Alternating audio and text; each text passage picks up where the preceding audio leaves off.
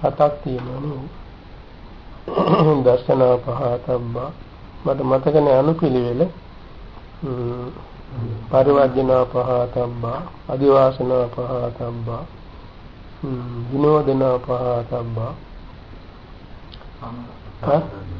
සංවරා පහතබ්බා භාවනා පහතබ්බා ඔක්කොම හතක් තියෙනවානේ පරිවර්ජනා කිව්වනේ පටිසේවන පහතබ්බා අනුපිළිවෙල කොහොමද මට මතක නෑ එතන දර්ශනා පහතබ්බා කියන්නේ විපස්සනා භාවනාවෙන් ගිහිල්ලා සෝවාන් මාර්ගයෙන් ප්‍රහාණය කරන ක්ලේශය.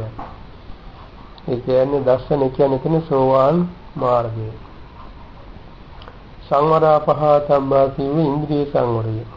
ඉන්ද්‍රිය සංවරය හොඳින් කරනකොට එතෙන්දී චිත්තසංතානය අර මොකක්ද කියන්නේ කෙලෙසුන්ගෙන් තෙත් නොවන. ඒකට කියන අව්‍යාසයක සුඛය කියලා. කෙලෙසුන්ගෙන් තෙත් නොවන කෙලෙසයන් තදංග ප්‍රහාණි ප්‍රහාණි වෙනවා. ඊළඟට අදිවාසනා පහතබ්බා කියන්නේ කාන්ති සංවරය කියන සීතල උණුසුම බඩගින්න පිපාස මෙස මඳුරු පීඩා වැසසුලන් විසකුරු සර්පාදීන්ගේ පීඩා අනුන්ගේ නිඳා පහස චෝදනා පරූපවාද ගර්ජන තරජන පීඩා කායික වශයෙන් වෙන নানা විදිහේ පීඩා සියල්ලම විසීමේ ගුණය. ඒකෙන් තමයි సంతානේ ආශ්‍රයයන් යටපත් වෙනවා තදංග වශයෙන්. පටසේවන පහතබ්බාගෙන සිව්පසේ තුන් ආකාරයකට ප්‍රතිවේක්ෂා කරගෙන පරිහරණය කිරීම. පිළිගැනීමේදී පරිභෝගයේදී තියෙන අවස්ථා තුනෙම ප්‍රයෝජන වශයෙන් ධාතු වශයෙන් ප්‍රතිකූල වශයෙන් මෙනෙහි කරමින් නුවණ හැසිරවීම. ඒක පටිසේවනා පහතබ්බා. පරිවර්ජනා පහතබ්බා කියන්නේ භික්ෂුන් වහන්සේ නමක් නම් නොයා යුතු තැන් වල නොගින් සිටින පානාගාර ශාලා ඔය සමාජ ශාලා කියන්නේ ගණිකා මඩම් අනි තීර්ථක ස්ථාන ඒ වගේම මේ ලිස්සල වැටෙන තැන් දුරු මාර්ග දුර්ග මාර්ග සර්පයන් ඉන්න තැන් නපුරු ඇතුන් නපුරු රස්යන් නපුරු ගොනුන් ඉන්න තැන් හොරහතුරන් ඉන්න තැන් ඒ තැන් වලින් යාල මුර්ගයන්ගෙන් පීඩා වෙන තැන් ඔක්කොම අත්හරින්න ඕනේ ඒවට ගිහිල්ලා කරදර වෙනකොට නැති ආශ්‍රවත් ඇති වෙනවා. ඒ නිසා යම් වැරකී සිටීමත් තමන්ගේ සීල භ්‍රමචර්ය රැකීමට පිටුටක් බලින් ඒකත් පටිවර්ජන පහතබ්බා. විනෝදනා පහතබ්බා කිව්වේ චිත්තසංතානේ අභ්‍යන්තරේ කාටවත් පේන්නේ නැති හිත ඇතුළේම පහළ වෙනවා කාම විතරක, ව්‍යාපාද විතරක, විහිංසා විතරක. තවත් ඉතින් මේ මේ අකුසල විතරක ඒවා ඒ ඒ ක්ෂණයෙහිම දැඩි නුවණ අවදි කරන දැඩි වීරියෙන් ඒවා ප්‍රතිබාහනය කරන්න ඕනේ. ඒක විනෝදනා පහතබ්බ. විනෝදනා පහතබ්බ. දැන් කීයක් කිව්වද? දර්ශන සංවර ආදිවාසන පටිසේවන පරිවර්ජන විනෝදන තා එකයි තියෙන්නේ. භාවනා පහතබ්බ. භාවනා පහතබ්බගේ බුද්ධාංග දේශනා බුද්ධංග ධර්ම අත වැඩි දියුණු කරනවා කරුණු 56කට 56 ආකාරයකින්. ඒක භාවනා පහතම්බ. එතකොට ඒකෙන් සාමාන්‍යයෙන් දැන් අර උලින් පළමුවෙනි එකෙන් සෝවාන් මාර්ගයේ කියවුණා. අනිත් ඒවා ස්වභාවයෙන්ම කාමාචර කුසාසිත පහළ වෙන අවස්ථා. ඊළඟට භාවනා පහතම්බා කියන එකෙන් සකදාගාමි අනාගාමි අරහත් කියන අවස්ථා තුනම ප්‍රකාශ වෙනවා. එතන භාවනා කරන බොජ්ජංග වැඩිවීමෙන් අර ඉතිරි මාර්ගඵල සියල්ලම සම්පූර්ණ කෙරෙනවා. ඔය විදිහටයි සබ්බාසව සංවර සූත්‍රයේ තියෙන ක්ලේශ ප්‍රහාණ විදි හත හඳුන්වන්නේ.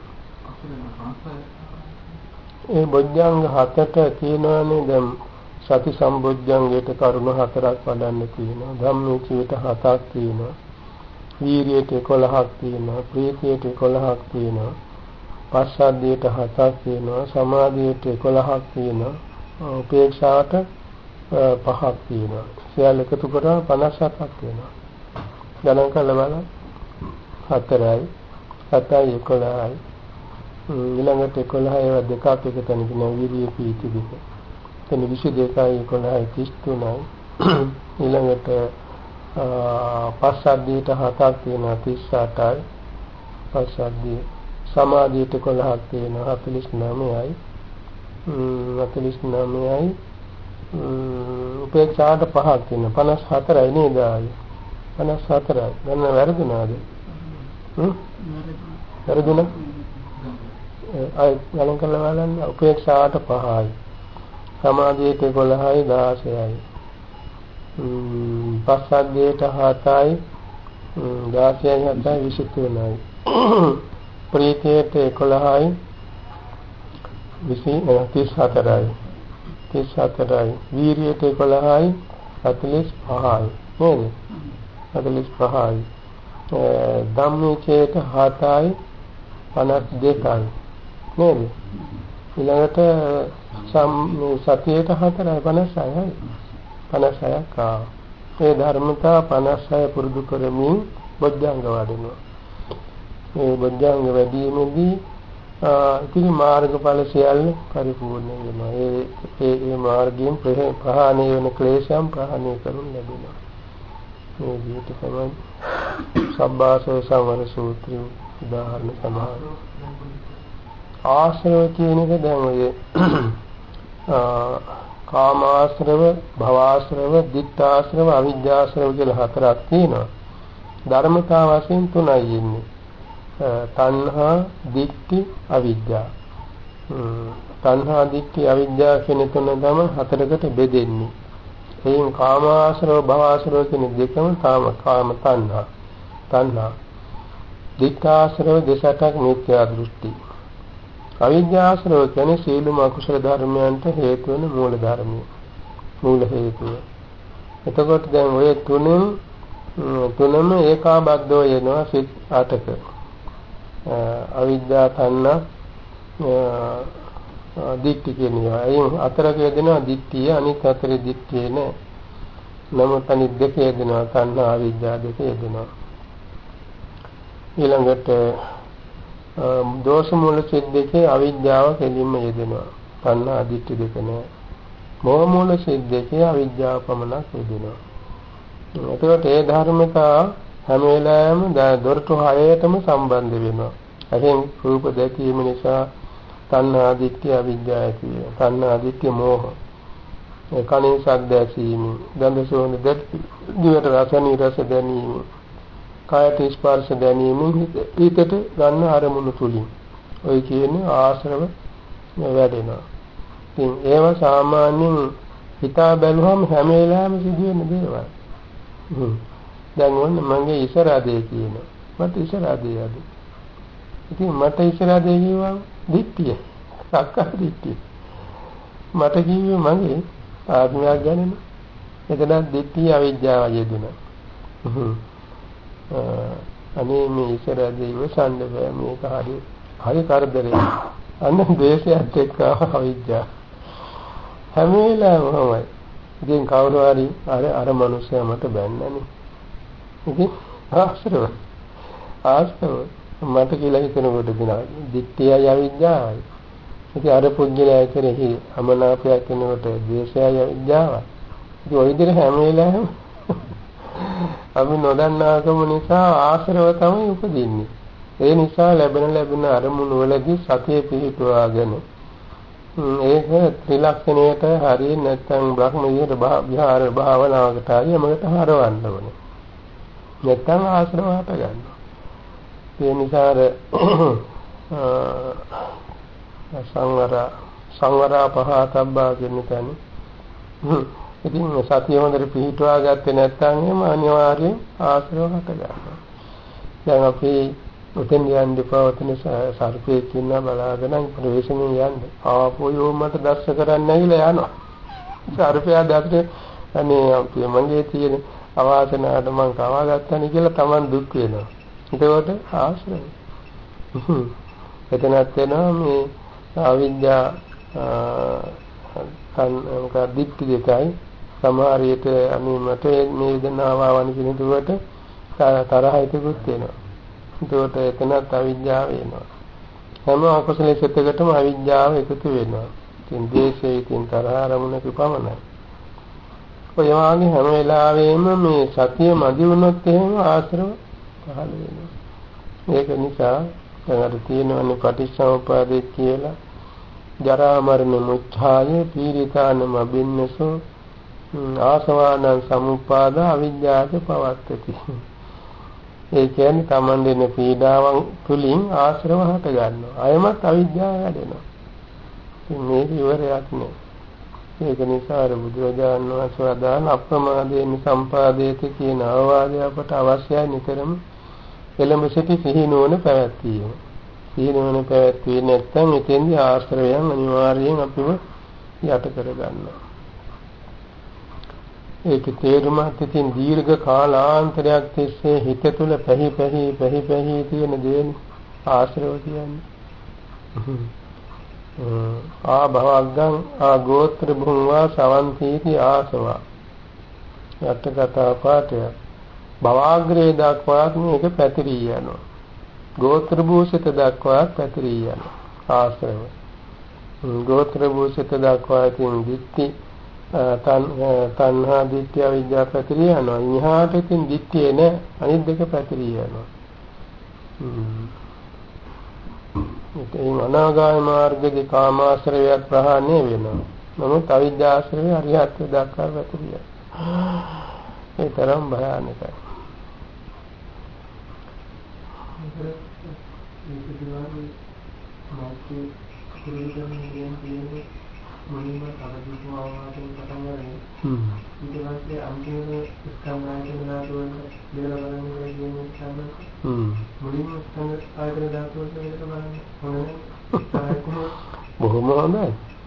මේක ඉතින් බුදුරජාණන් වහන්සේගේ දේශනා විලාසයක් නේ හැම දෙයක්ම අට කතාවට ගන්නෙත් එහෙමනේ. ඒ කියන්නේ අර ගැඹුරට යන්නේ අගටනේ. මුලින් නොගැඹුරු දේ කියලා දෙන්න ඕනේ. එහෙම බැරි බැරි අවස්ථා අන්තිමට ගැඹුරටම ගිහලා කියන මේකෙන් ජය ගන්න කියලා. ඒකයි අදහසට. පංචායද කුමාරය ආයුධ පාවිච්චි කරපු ඇති වගේ තමයි.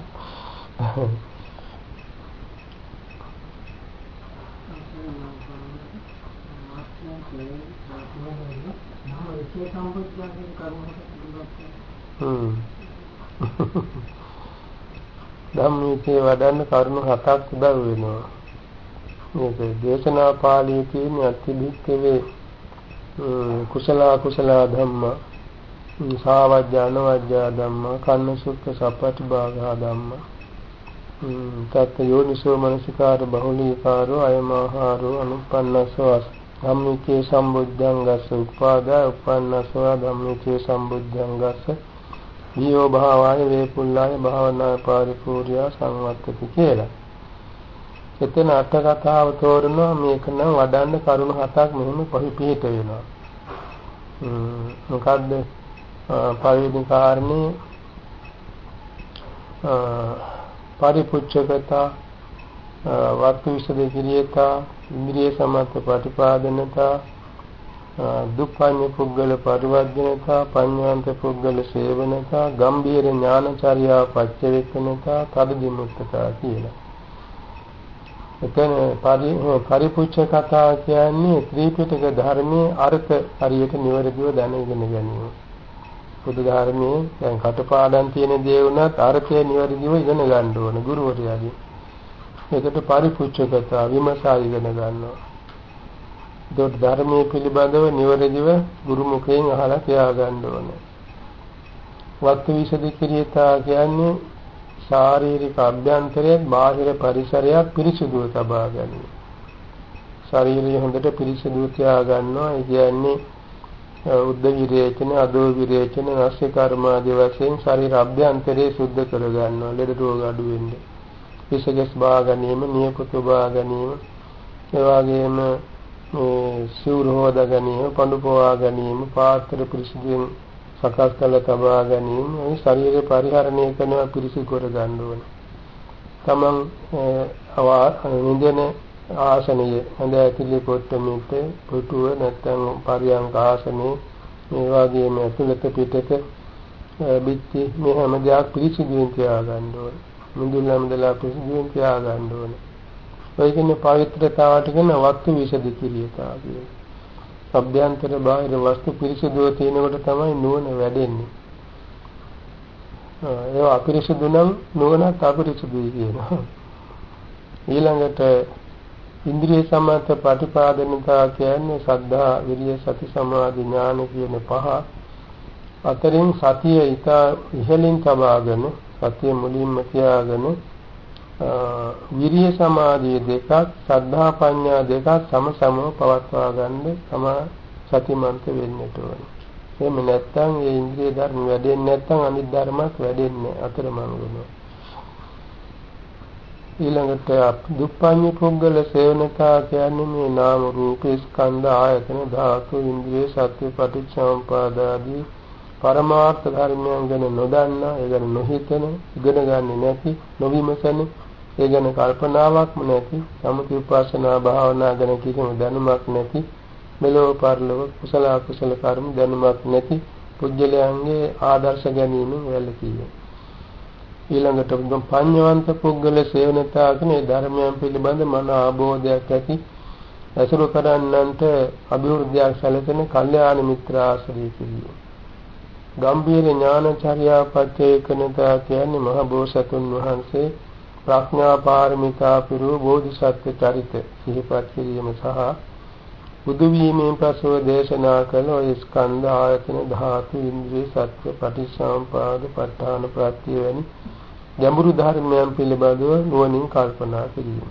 ඒවා අවබෝධ කර ගැනීමට සුතමේ චින්තාමේ වශයෙන් නුවණ යෙදීම. ඒ කාරණා හයයි ළඟට තදදි මුත්තතා කියන්නේ මම සෑම ඉරියව්වක සෑම දෙයක්ම නුවණින් කිරීමට අදිෂ්ඨාන කරගනිමි. නුවණින් කර නොවිය කටයුතු කරන්න මා කරේ අදිෂ්ඨාන කරගනිමි කියලා හිතට පුරුදු කරගෙන හැම දෙයක් නුවණින් කල්පනා කරලා කරන්න පුරුදු වෙනවා. ඒ කාරණා හතයි. පරිපුච්ඡකතා, භක්ති විසදි කිරියතා, ඉන්ද්‍රිය සමත ප්‍රතිපාදනතා තුනයි. දුප්පඤ්ඤ පුද්ගල පරිවර්ජනතා, පඤ්ඤවන්ත පුද්ගල සේනතා දෙකයි පහයි. ගම්භීර ඥානචර්යා පච්චේකනතා, තදදින්නතතා දෙකයි හත. මේ හත. අවසරයි ගන්නට එතන ඉන්ද්‍රිය සමන්ත ප්‍රතිපාදනතාවය අපි කොහොමද හුරු කරගන්නේ? අත් වශයෙන් මේකට තමයි දැන් අපේ කාලසටහනක් ඇතුව ඉරියව් නිසසේ මාරු කරමින් වත් පිළිවෙත් පුරමින් අර ආභි සමාචාරික වත් කියන මේ ගුණ පුරා ගැනීම. ඒ අතරතුර භාවනාවේදී තමා සතියෙන් යුක්තව සිහිය සිත ගැන කල්පනාකාරී වීම. ඒ කියන්නේ හැම දෙයකදීම තියෙන්න ඕනේ මදුම් පිළිවෙත නැත්නම් එකම ක්‍රියාවක ඉඳලා ඉන්නකොට මේ අනිත් දේවල් වැඩෙන්නේ නැති වෙනවා. අද කාලේ හිතන භාවනා කරන අපේ වත් පිළිවෙත් ඕනේ නැහැ වත් පිළිවෙත් කරන්නේ භාවනාවට මදි කාලේ මදි කැඩෙනවා. ආන අතරමං වීම. එතෙන්දි තමන්ගේ సంతානෙ විදිය ඉන්ද්‍රිය අඩු වෙනවා. ඒ වගේම සීලයට අවශ්‍ය ගුණාංග අඩු වෙනකොට හිත පිරිසිදු වෙන්නේ නැහැ. දැන් සමහර කෙනෙක් හිතනවා පින්නපාත නොගින් හිටියොත් හොඳයි මගේ භාවනා කරගන්න. නමුත් පින්නපාත යනකොට සිදුවෙන ක්‍රියාවලිය කෙරෙන්නේ එතෙන්දී විදිය සම්බොජ්ජංගේ වැඩිනවා. ඒ වගේම ඒ වෙලාවේ තමන්ගේ సంతානෙට ඒ පින්නපාත කිරිනමන්නම් කරේ බලවත් මෛත්‍රියක් කරුණාවක් හිතේ වැඩෙනවා. ඒවා පහළ වෙන්නේ නොගිය නොයාම නිසා. ඉතින් ඒවා යනකොට එතෙන්දි තමන්ගේ හිතේ බලවත් ශ්‍රද්ධාවක්, වීරියක්, සතියක්, සමාධියක්, ඥානයක් වැඩෙනවා. දැන් බුදුන් වඳින්නේ සමහර විට දැන් මේ භාවනා කරනකොට බුදුන් වඳින්නෝ නැන්නේ කියලා හිතනවා. නමුත් ඒ කෙනෙක් තමන්ගේ ඉන්ද්‍රියයන්ගේ පිරිහීමක් වෙනවා. මොකද බුද්ධ වන්දනා කිරීමෙන් බුදුරජාණන් වහන්සේ ජීවමාන කාලේ සිටු කරපු චාරිත්‍ර මේවා. බුදුරජාණන් වහන්සේ ජීවමාන කාලෙත් උදෙත් වඳිනවා. දවාලෙත් වඳිනවා හැන්දෑවෙත් වඳිනවා. ඉතින් ඒ වැඳීමෙන් මොකද වෙන්නේ? සද්ධා ඉන්ද්‍රිය නුවණ වැඩෙනවා. ඒ වැඳීමේදී බුදුරජාණන් වහන්සේගෙන් යමක් අහ ගන්නවා. භාවනා ගැන, ධර්ම කාරණා ගැන, විනය කාරණා ගැන. ඉතින් අන්තිමේදී එයින් තමාගේ సంతාන ඉන්ද්‍රිය ධර්ම වැඩෙනවා. ඉතින් කයටත් හිතටත් ව්‍යායාමිකුත් ඇති වෙනවා. ඒකෙන් සිද්ධ වෙන්නේ අර තමන් කරන භාවනා කටයුතු හොඳින් ඥානවන්තව යොමු කරගන්න පුළුවන් වෙනවා. හරි ඉස්සර එක සමාපත්තිලාභී ස්වාමීන් වහන්සේ කෙනෙක් වෙන දවස්වල වාඩි වෙච්ච ගමන්ම හිත සමාධි වෙනවා. එදා වාඩි වුණා කොහොම සමාධි වෙන්නේ නැහැ වෙන්නේ නැහැ. බැලුවා මගේ සීලය අපිරිසුදුවද නැහැ සීලේ කිසි වරදක් නැහැ. එහෙනම් මගේ වත් පිළිවෙත නඩුවක්ද? බැලුවම ඇත්තනේ නේද වෙන දවස්වල මම උදේ මලුවාම දෙනවා අද මලුවාම දෙන්න අමතක වුණා. ඉතින් නැගිටලා ගිහින් මලුවේම දෙන අත්පාදෝ වනේ කරන අයිත් වාඩි වෙච්ච ගමන්ම සමාධි. අර ඒ වාගේ ඉන්ද්‍රිය ධර්මයන් අසම්පූර්ණ වෙනවා ප්‍රතිවාහණය වෙනවා ඒකල යුතු වත් පිළිවෙත් ආදී අතපසු වීම නිසා. ඉතින් ඒ නිසා තමයි කාලසටහනක් ඇතුව මොව කරන්න කියන්නේ. ඔය ගතපත්තා ගතවත පුර්ණ ස්වාමීන් වහන්සේලා වුණත් වේලාසනින් මේ තමන්ගේ කටයුතු භාවනා කටයුතු කරලා ඉක්මනින්ම ගිහින් සෑමලු බෝමලු විහාරමලු යමදලා ආචාර්ය උපාධ්‍යායවත් පුරල සම්බ්‍රහ්මචාරීන් වහන්සේලාට අවශ්‍ය දේවල් කර දීලා තමයි පිළිතුරු ගන්නේ. හැබැයි සිහි ඒවා සිහිය කරනුයි භාවනාව යුතුයි.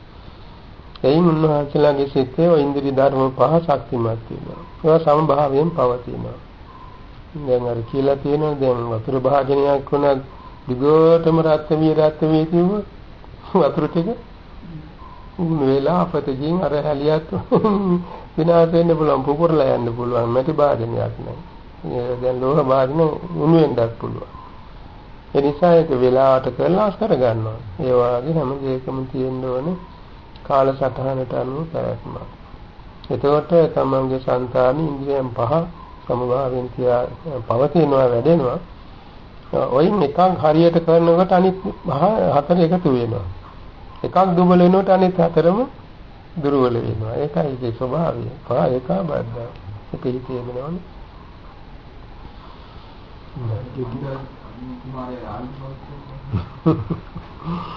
ඉස්සෙල්ලා දුන්නේ දුරේ ඉඳලා කරන එකනේ. දුන්නු පාදේ. ඉතල තියෙන තාක් දුන්නෙන් විද්දා. එහෙම වැඩක් වුණේ නෑ. ඊට පස්සේ දමා ගන්නක හෙල්ල. ඒකත් දමා ගියා. දුරේ ඉඳලා කරන වැඩන්නේ. ඊට පස්සේ චක්‍රායුධය. කැපෙන කරකෙන ආයුධයක්. ඒකත් වීති කළා. ඒකත් වැඩක් වුණේ නෑ. ඊට පස්සේ කඩුව. ඒක ලං වෙලා කරනවා නේද? කඩුවෙන් ගෑ. ඒකත් ඉතින් වැඩක් වුණේ නෑ. ඒක ඇලුනනේ ඔක්කොම ඇලලා අර යක්ෂයා. ඊට පස්සේ මොකද කරන්නේ? අතේ තිබුණා උදේ ඉවරයි. දුන්නේ ඒකලෙ විද්දා හෙල්ලෙන් යන්න ඊළඟට ඉතින් අනිත් චක්‍රායුධයෙන් ගහලා දැම්ම එතනට වැඩන් කඩුවෙන් කියනවා. තා සිරිය කියලා තුනා. සිරිය කියන්නේ කොඩා කඩුව ඒක මහා කඩුවෙන් පස්සේ පාවිච්චි කරන්නේ. ඒක අනිමේ එක. සිරිය කියන්නේ ඒක පංචාවදේ පාවිච්චි කරනවා. දැන් ආවද නෑ ඇති. ඊළඟ දකුණු ඇති. ඊළඟ වම් ඇති. ඊළඟට දකුණු පායෙන් ඊළඟට වම් පායෙන්. තවත් නෑ. ඔළුවෙනුත් යන්නේ. දැන් පස්කොලකින් බැඳුණා. ඊළඟට අන්තිම අවදි පාවිච්චි කළා. තමන්ගේ හිතේ ශක්තිය. ඒ අක්ෂේ මම බය නෑ. ඔබ මාව දිලපන් මගේ පපුවේ තියෙන වජ්‍රායුධයෙන් ඔබේ පපුව පලාගෙන මං එළියට යනවා වජ්‍රායුධයේ කියේ ප්‍රඥාව. බොරු නෙමෙයි. යක්ෂයා බය වුණා පපුව පලාගෙනවා කියලා බඩ පලානිනවා කිව්වා. වහාම කිලිපොල්ල අර ඔක්කොම දෙහලා දාලා සමාවෙන්න සමාවෙන්න කිව්වා. සමා වෙන්නේ නැහැ මම. ඔබ පන්සිල් යන්නේ. පන්සිල් යන්නේ. මං ඉදිරියේ පන්සිල් යන්නේ. මං කියනට ගියාම මින් ඉදිරියට පව කරන්නේ නැහැ කියලා ප්‍රාණඝාත කරන්නේ නැහැ කියලා ඔක්කොම සමාදන් කරුවා. වැඩගෙන සමාදන් වුණා. මින් ඉදිරියට කිසිම ප්‍රාණියකට හිංසා කරන්න එපා. ඔබට මං කෑම වීම දෙනවා ඉන්න මගේ මගේ මේ රජවාසයට එන්න. මම ඔබට ඔක්කොම සත්කාර කරනවා මින් ඉදිරියට ඔබ සිල්වත් ගුණවත් කෙනෙක් හැටියට ඉඳපන් ඔබ මින් ඉදිරියට අපායට වැටෙන්න එපා. තාක් පව කරලා අපායට යන්න මොකටද? මං ඉදිරියේ කියලා බය ගන්න එක් කරගෙන ගිහිල්ලා එයාට දේවාලයක් හදලා දීලා ජීවිහිමින් කෑම වීම දුන්නා. මේක තමයි ප්‍රඥාව. ඔව්. මනුස්සයන්ගේ ආහාර.